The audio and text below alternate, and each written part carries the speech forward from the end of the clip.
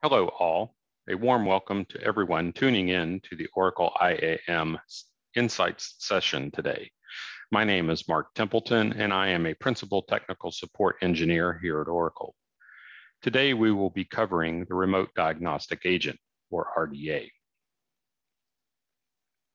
We will review what the Remote Diagnostic Agent is, what its components are, and the differences between them we are going to cover several, but not all of the RDA commands that are useful in both understanding and running the RDA. I'll provide several of my Oracle support notes that are important to know about in regards to the RDA. We will also discuss what report is generated when the RDA is run and where it is located so that you can provide it to Oracle support. Lastly, we'll have a short demo on the RDA. So what is the RDA? It is a non-intrusive command line diagnostic tool that is run on your system to collect data. It gives a clear picture of your machine's environment and settings that can also be used to troubleshoot an issue with Oracle support. Both you as a customer and Oracle support can use these results. The RDA is available in over 20 plus different platforms that can be run to collect this data. Some Oracle products actually have the RDA installed with it. Whatever the latest version of the RDA is available at the time of a new product release, it is included with as part of the install. This RDA can also be upgraded at a later time. This allows you to have the latest modules and profiles from Oracle. The RDA has several components. These components are broken up into both modules and profiles. It is good to understand the difference between these two items. Modules are the smallest part of what can be gathered. They are items like operating system, network details, user profile information, and a specific Oracle product. Profiles are a collection or grouping of several modules. This makes it easier to collect several items at once. The profiles are put together by Oracle support teams for common modules needed to troubleshoot or work through an issue in a service request. We will take a look at this during the upcoming demo. Some useful RDA commands are listed here. First, and most important, is the RDA help. It lists all the parameters and provides a brief description of each of these parameters. The RDA also has a manual or man page. These can be run for each of the specific parameters seen in the RDA help to get more information. We will review a few of these during the demo. The RDA is used in a two-step process. The first step is to set up the RDA on what to collect, whether it's from a module or a profile. The second step is the running of the RDA so that it collects the information that was specified during the setup. Here are several My Oracle support notes that are very helpful in understanding where to download and running the RDA. Since the RDA is based on Perl, if Perl is not available on the system, we have listed a note here that allows you to still run the RDA to collect the valuable information needed to work or troubleshoot an issue. The report generated when the RDA is run is not encrypted or password protected. It can be reviewed by anyone who has access to the file system or is provided the resulting zip file. After the RDA is run, an output directory contains the results of the RDA if you wish to review it. There is a two helpful HTML files that are generated that brings up the RDA report in a browser which uses frames. It shows the RDA version, the overview of what was collected, whether it was run from a module or a profile. And we'll take a look at this during the demo. So let's have the demo now. I have downloaded the RDA on my system into this directory. First, you have to unzip the RDA and it will create its own directory, which you can go into. Here you can see the files that are generated or created from unzipping it. Now also on this system, I do have three Oracle products installed. Looking at those, I have an Oracle Access Manager, an Oracle HTTP server, and an Oracle Unified Directory server.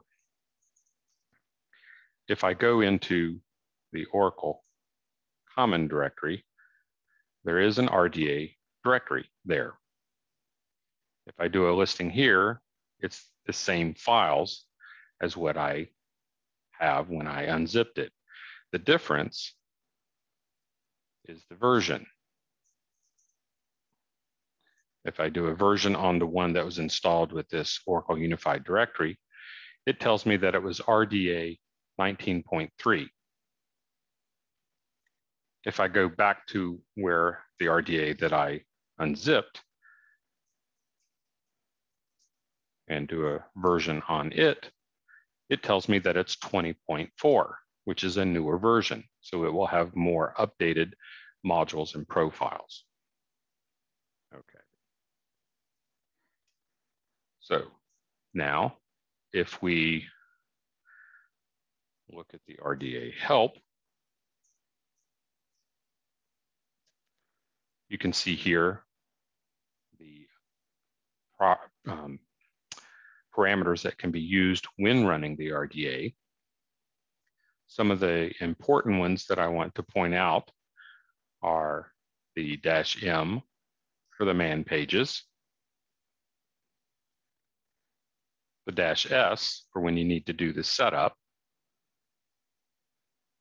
It does have a lowercase v for verbose mode and a lowercase p for when you're specifying a profile. If you do not use the dash lowercase p, it assumes that you're running it for a module. So if we want to look at the RDA man pages, just do a capital M, and we will do it on, let's say, the operating system. Here it shows you what is collected during this particular module, which it pulls in the system information, the Java version, the Oracle Home Java version, whether or not this operating system is a container type environment. Okay. now, if we wanted to run the RDA on a particular profile, we just specify the dash P and I'll specify the identity manager profile. And here you can see that it lists all the modules that is collected in this profile. There's one for the identity manager, the WebLogic server, the installation information, the network, the operating system, etc. So what we are going to do is actually run the RDA setup for the operating system, and we'll say network information as well. Now, when the first thing it's going to ask is for an our Oracle home. So in this case, I need to provide an Oracle home that it's going to use. And I'll just specify the OUD. So let me copy that and paste it in. And part of this module was the net network. And it, so it's asking if it wants, if I want to do ping test, and I'll just say no for the default. And the setup has been completed.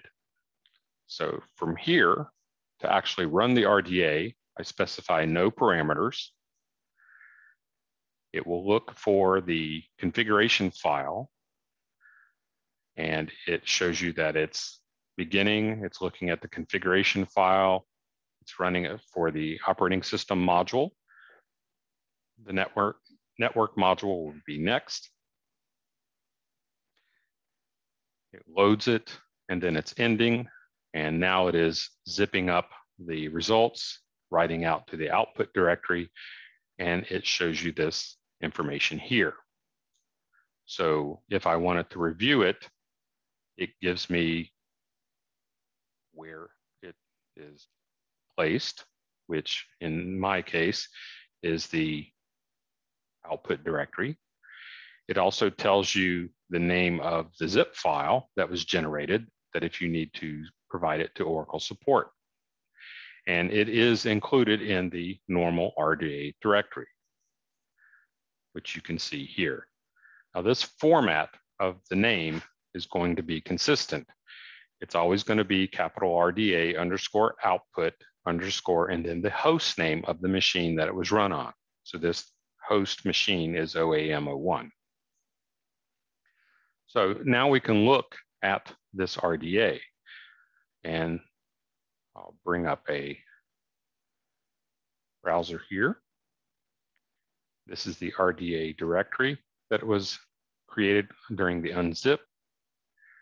If I go into the output directory, usually the start HTM file is all the way at the bottom. So when I click on it, it brings up the results of the RDA. You have three frames. You can see here in the first one that the version was 20.4. We are selecting the overview menu, which gives you a overview submenu. And then the results of the report system or settings is what's listed in this third main frame. From here, I can look at system information, uh, target information, the collected files, etc. So you can see here that I collected the operating system, which allows me to look at system information, CPUs, memory, etc. And I also have the network options that or module that was run.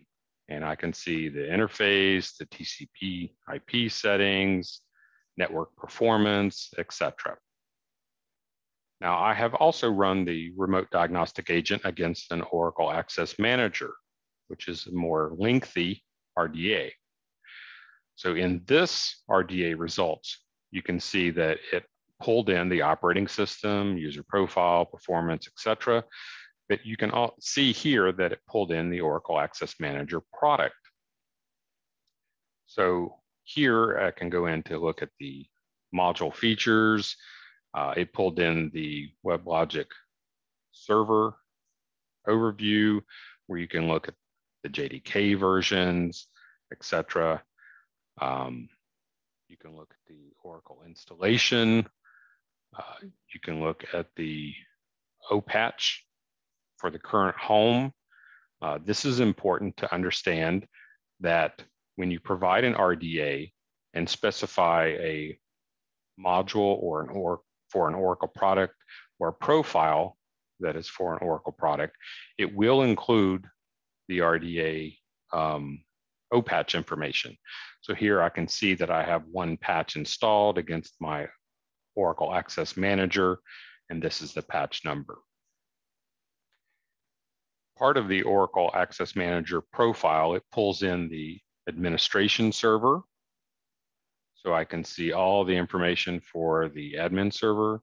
It also pulls in the Oracle Access Manager managed server information. Here, it pulls in some of the diagnostic logs for the OAM server, the access log, etc. So it will pull in a lot of information um, that can be provided to Oracle support in troubleshooting an issue.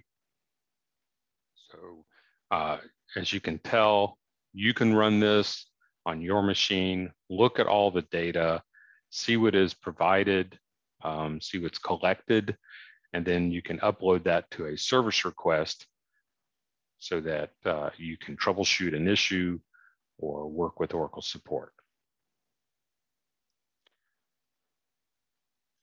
Again, thank you for tuning in to today's Oracle IAM Insights session. We look forward to seeing you at the next one.